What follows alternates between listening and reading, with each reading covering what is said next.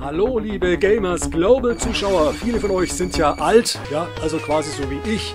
Da dachte ich mir, wir feiern mal was zusammen und zwar den 35. Geburtstag des Amiga 500. Und weil alt jeder kann, dachte ich mir, wir machen das mal mit neuen Spielen. Es gibt nämlich nach wie vor Entwickler, die ganz fleißig Nachschub liefern. Also quasi Neues für die alte Freundin. Ne? Amiga heißt ja Freundin, ihr wisst das, ihr wisst das, ihr wisst das. Jedenfalls seht ihr im Video gerade ein paar Beispiele für Titel, die noch in Entwicklung sind. Überwiegend äh, in privater Heimarbeit. Ich bin bei meiner Suche nach den 10 besten Spielen 2020 bis 2022 bei meiner wochenlangen Recherche. Ich erzähle ja kein Mist, ich habe wirklich wochenlang alles Mögliche ausprobiert. Unter anderem auf ein schon fertiges Adventure gestoßen, das kurioserweise im Geburtsjahr des Amiga 500 spielt, nämlich 1987 und dann auch noch in Berlin. Das wollte ich euch schon mal auf keinen Fall vorenthalten.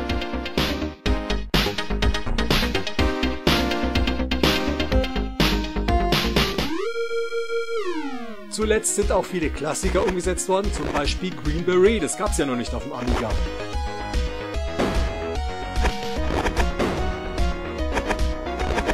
Hier hätten wir Amidar, das Spiel, bei dem man nicht über die Gegner drüber springt auf Knopfdruck, sondern die Gegner über die Spielfigur. Ja, also quasi genau umgekehrt. Bam Bam Bums, ja, hier ein paar Szenen aus Scramble, das kennen manche wahrscheinlich auch noch vom Spielautomaten her. Und es gibt sogar Raid over Moskau für den Amiga. Das war ja lange indiziert in Deutschland. Und ich muss ehrlich sagen, ich fand es seltsam, das äh, zu spielen, gerade vor dem aktuellen Hintergrund, wenn zum Beispiel Atomraketen aus Kiew starten und ich an den serialen Ukraine-Krieg denke.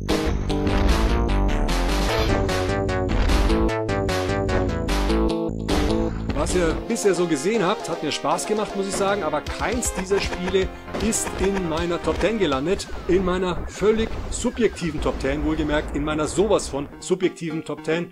Die kommt jetzt und ich wünsche euch viel Spaß. Los geht's!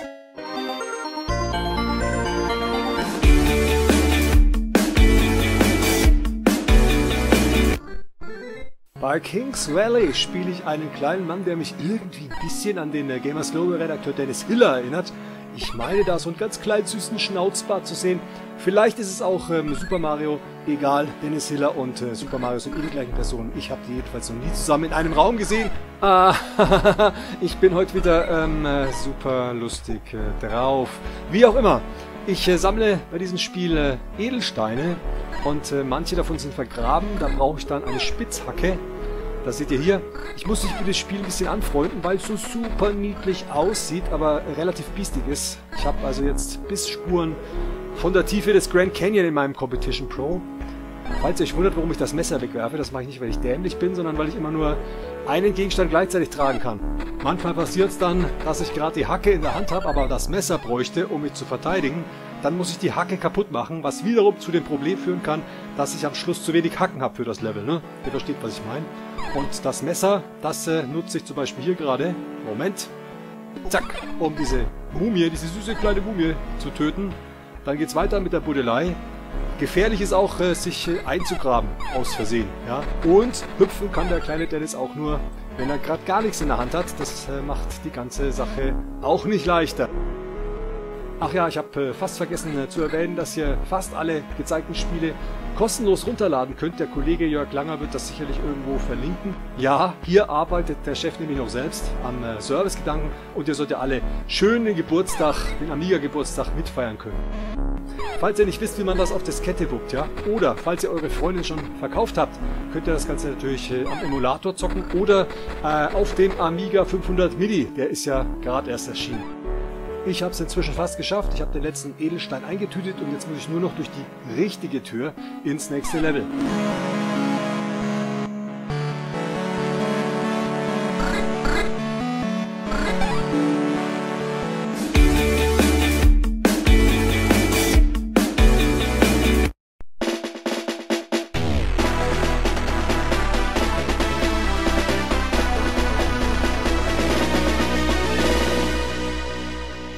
Es hat 34 Jahre lang gedauert, bis sich äh, Metal Gear endlich auf den Amiga geschlichen hat. Ich möchte jetzt äh, keinesfalls einen äh, kindischen alten Formatkrieg befeuern. Äh, nein, nichts liegt mir ferner. Aber für den Atari ST gibt's äh, Metal Gear immer noch nicht. Also für den Amiga schon, für den Atari noch nicht, aber für den Amiga. Ich habe erstmal keine Ausrüstung, muss mir so einiges organisieren, zum Beispiel von diesem LKW, der eine verdammt große Ladefläche hat, fällt mir gerade auf. Erinnert mich an den äh, Scheinriesen einer Augsburger Puppenkiste. Nee, genau andersrum bei dem. Egal. An der Kameraüberwachung vorbeischleichen. Schleichen sehr wichtig. Das Gameplay ist aber insgesamt relativ abwechslungsreich. Immer noch für so ein Spiel von 1987.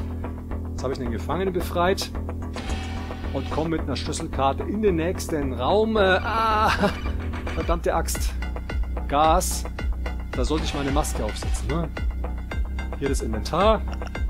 Und dann geht's weiter. Ne? Ich hab's drauf. Läuft bei mir. Moment, der Chef mal wieder. Bla bla bla. Ich habe vergessen, dir zu sagen, dass du eine Gasmaske... Was zur Hölle? Die Info wäre vorhin interessanter gewesen, du Penner. So, falls ihr mich gerade nicht sehen könnt, ich habe mich versteckt. In diesem Karton. Ja, wie gesagt, das Gameplay ist relativ abwechslungsreich. Und das ist auch sehr lustig, das mit dem Karton, finde ich. Ihr könnt mich alle mal. Okay, Levelboss. Und ich komme gerade aus dem Gefängnis. Deswegen habe ich mal wieder keine Ausrüstung. Die hole ich mir jetzt erst. Und da habe ich noch zwei Raketen. Lenkraketen, die ich erstmal einsetze gegen den Penner. Leider habe ich nur zwei, den Rest muss ich dann wohl mit meiner Pistole erledigen. Komm her, du Sau! Ha! Nimm das! So. Wieder eine Schlüsselkarte. Erkunden ist sehr wichtig. Und es geht weiter. Hier haben wir einen Dobermann einen Ex-Dobermann, um genau zu sein. Da schreit Peter auf. Ein Checkpoint. Ich kann aber auch jederzeit speichern, das finde ich super. Und wieder schleichen und die Faust aufs Auge. Metal Gear ist übrigens eine MSX-Umsetzung, so wie King's Valley. MSX, das war ein japanischer Homecomputer-Standard der 80er. Ja, und äh, wie Kings Rally gibt's Metal Gear übrigens nicht für den Atari ST. Also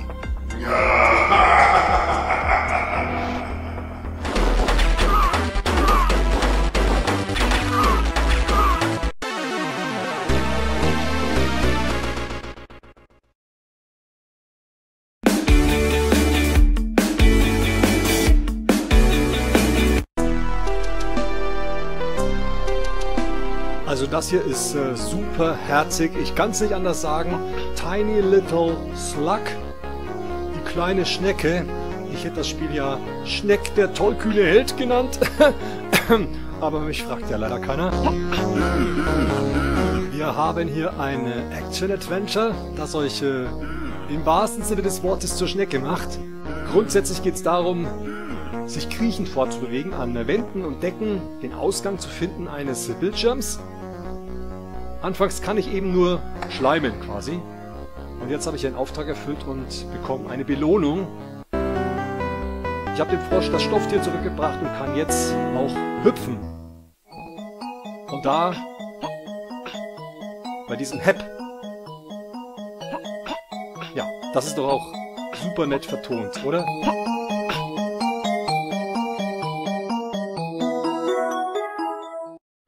Ein Schneckenhaus. Was mache ich denn damit?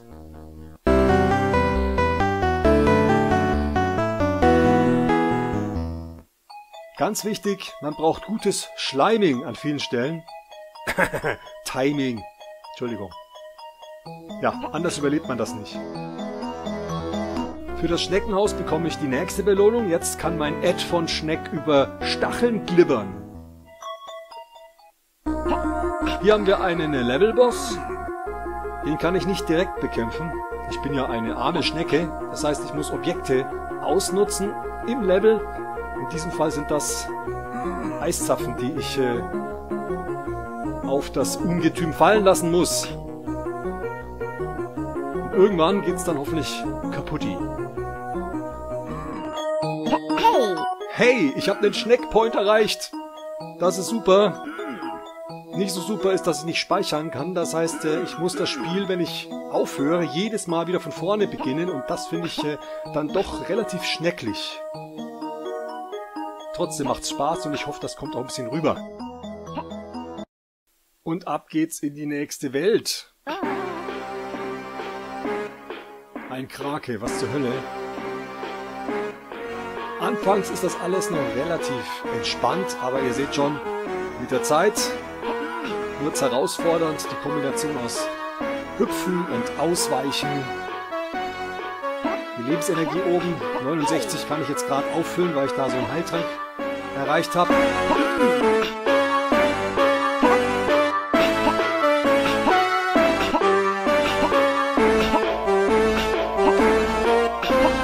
Ja, und die Schnecke kann manchmal ganz schön schnell sein. Dagegen ist sogar der Philipp lahm. Oh Gott, kann mich der Wortspielgott dafür bitte bestrafen? Dankeschön.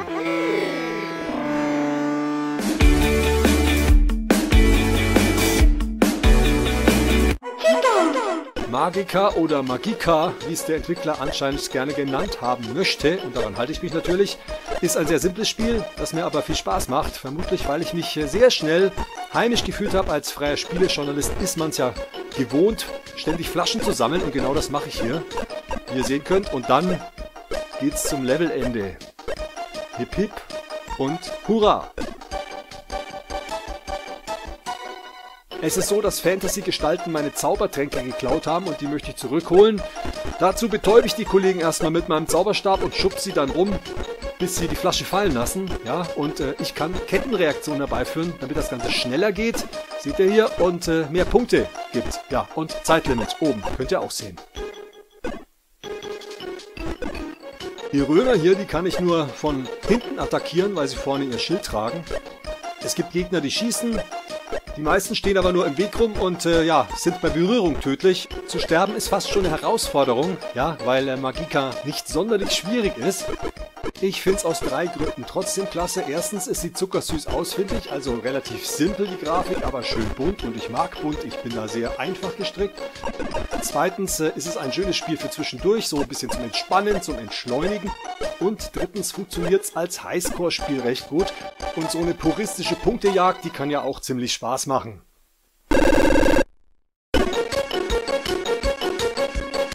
50 Levels sind im Angebot und ich zeige euch mal am Beispiel von Nummer 44, wie eng es dann auch mal mit dem Zeitlimit werden kann.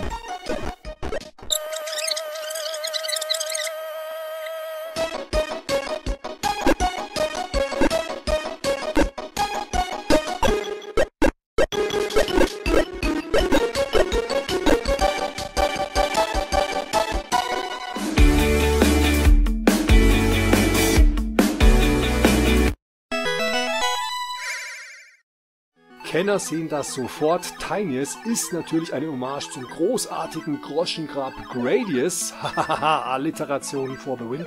Ja, dieses, ich sag mal, herzlose Shoot'em Up, das hat 1985 in den Spielhöllen gelauert und äh, hätte wahrscheinlich sogar das Taschengeld von, äh, sagen wir mal, Yorkshire Terrier Babys gefressen, wenn die denn Hände hätten, mit denen sie das hätten zocken können. Um Gottes Willen, was für eine Satzkonstruktion aus der Hölle.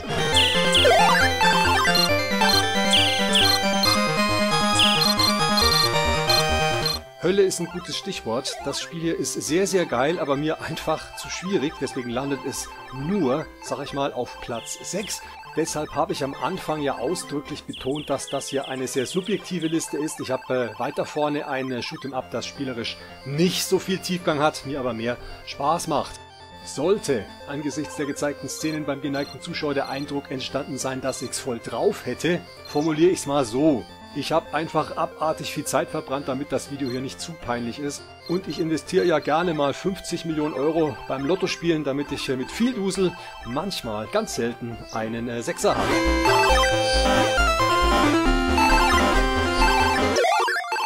Eine letzte Gotteslästerung, ich nenne Tinius ganz gerne Tinnitus, weil diese Hochtonsounds, die machen mein Ohren manchmal doch zu schaffen, aber wie heißt so schön, ist es zu laut, bist du zu alt.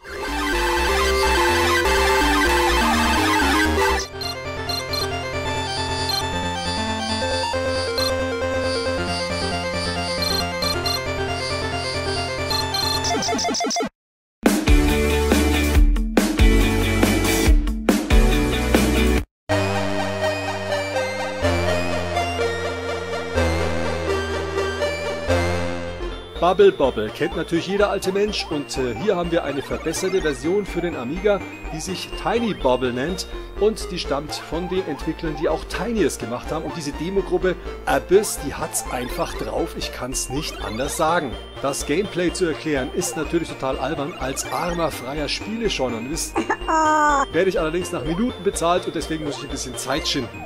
Es läuft folgendermaßen. Mein Drache bespuckt die Monster, die Monster zappeln in einer Blase, der Drache hüpft auf die Blasen, die Monster gehen tot. La la la, la la la, dumm die dumm die la la la, Jubel, Trubel, ähm, Heiterkeit, äh, Konfetti, Feuerwerk.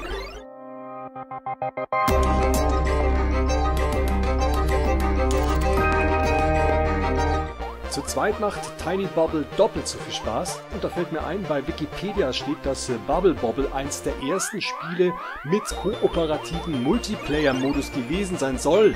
Als Homo Senex kann ich da bloß äh, mitleidig hüsteln.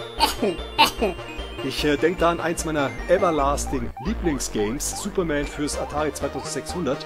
Da hat Spieler A den Helden nach links und rechts gesteuert und Spieler B mit Joystick 2 oben und unten übernommen.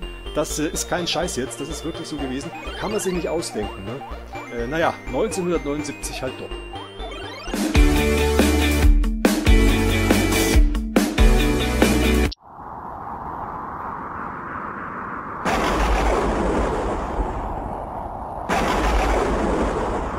Einmal Rittersport bitte. Ja, hier haben wir eine Konami-Umsetzung. Das Spiel heißt Nightmare. Das ist ein Wortspiel aus Night, Ritter und Nightmare, Albtraum. Ich denke jetzt mal nicht genauer drüber nach, warum ein Ritterspiel, ausgerechnet ein Ritterspiel, ein Vertikalshooter ist. Also der Kollege hier, der wirft sein Schwert, der wirft sogar Bumerange und so weiter und so fort. Ist ja auch Wumpe, weil es macht Spaß und das liegt auch so an den taktischen Möglichkeiten durch äh, Extras. Hier habe ich gerade kurz die Zeit eingefroren, wie ihr sehen könnt. Sehr praktisch, um alles abzuräumen. Ja, diese Buchstaben kann man verschiedenfarbig aktivieren und blau bedeutet zum Beispiel Schild. Es gibt auch Extras, die ich ziemlich scheiße finde. Da muss man also aufpassen, dass man sich nicht verschlechtert. Die Musik ist übrigens geil.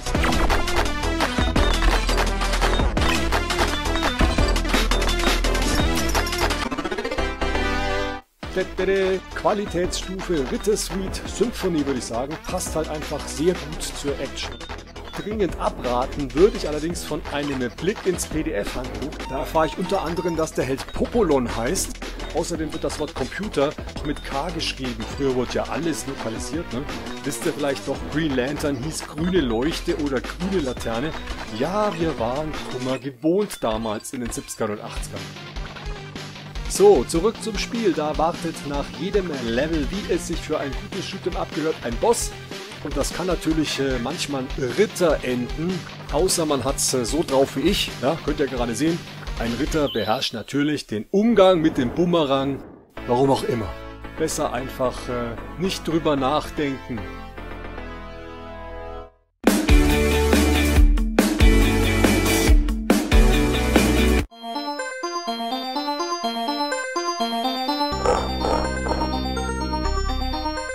Aufs Treppchen hat es ein klassischer Dungeon Crawler geschafft, The Shadows of Sargoth. Ihr seht hier die Charakterauswahl mit diversen Völkern und äh, jeweils Männlein und Weiblein. Ich habe mich für einen Elf entschieden und jetzt geht's los.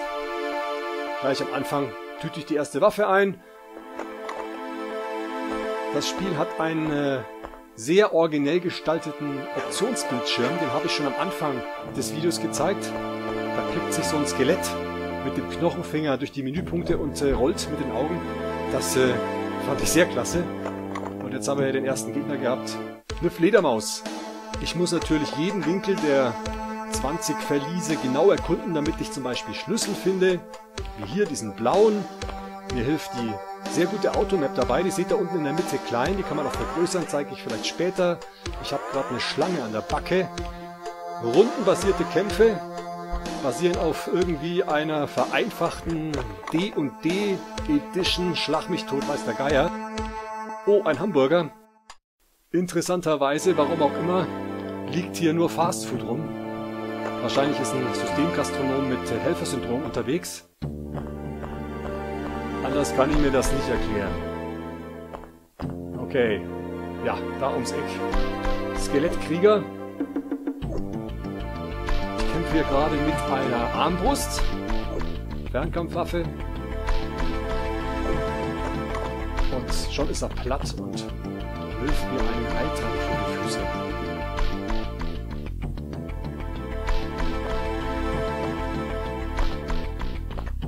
Geht nur schrittweise voran. Kennt man ja aus den Spielen früher. Noch ein Gegner.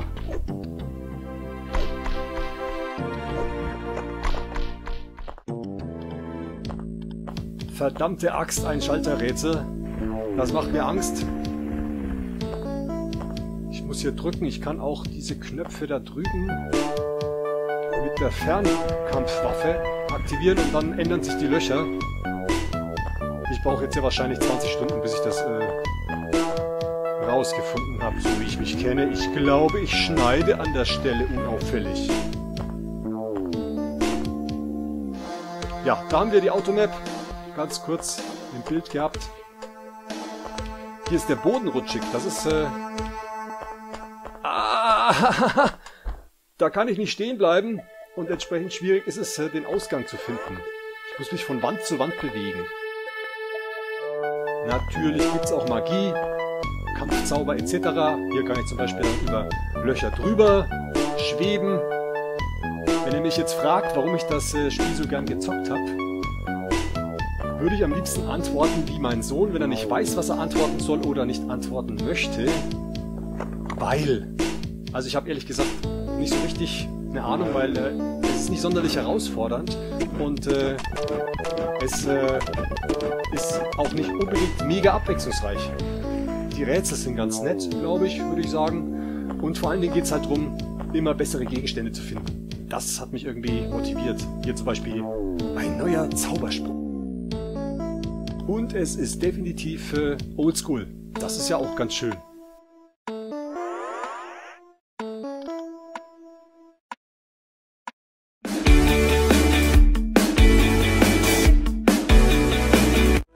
Ich habe es vorhin angekündigt, es gibt ein Shoot'em Up, das ich besser finde als Tiniest, obwohl es äh, gar nicht besser ist. Es macht mir einfach mehr Spaß. Ihr seht den Titel unten eingeblendet. Das Spiel heißt Upsi, äh, sorry, äh, da habe ich das äh, falsche Soundsample eingebaut. Zum Glück kann das Spiel äh, selber reden. Ich wüsste nämlich nicht, wie man den Titel richtig ausspricht. Jetzt also nochmal korrekt. Das Spiel heißt und macht mich mehr an, obwohl es zum Beispiel gefühlt nur zwei Waffen-Upgrades gibt. Woran liegt das? Zum einen, weil es gemächlicher zugeht. Ich spiele ja leidenschaftlich gerne Shoot'em-Ups. Wegen der Motorik eines vom Baum fallenden Faultiers allerdings imposant schlecht. Und da kommt mir das geringere Tempo entgegen. Außerdem äh, mag ich äh, den Pixel-Style. Ich mag die Grafik, die ist zwar relativ grob, aber ähm, ja, die Zeichentrickkulissen, die finde ich sehr, sehr cool. Und äh, auch die großen Sprites. Ja gut, die Explosionen, die sind äh, ungefähr so spektakulär wie eine Rede von Katrin Göring-Eckert, aber da kann ich drüber wegsehen. Dafür fühle ich mich äh, an äh, vielen Stellen an R-Type erinnert und das ist ja mal nicht die schlechteste Erinnerung. Ja, ich möchte keinesfalls den Eindruck erwecken, dass das Spiel hier leicht ist. Ne? Es ist nur relativ leicht im Vergleich zu Tinius. Die Levelbosse sind allerdings äh, bis auf den letzten, äh, ja, Luschen, so würde ich es mal sagen. Da wäre ein bisschen mehr, mehr gewesen.